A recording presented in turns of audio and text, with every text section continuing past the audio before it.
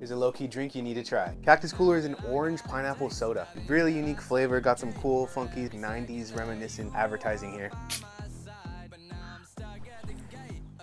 Oh, that's great. If you took pineapple Fanta and mixed it with orange Fanta, you got a Cactus Cooler. Gotta buy this at least once. Give it a shot if you haven't. 9 out of 10. Subscribe for more.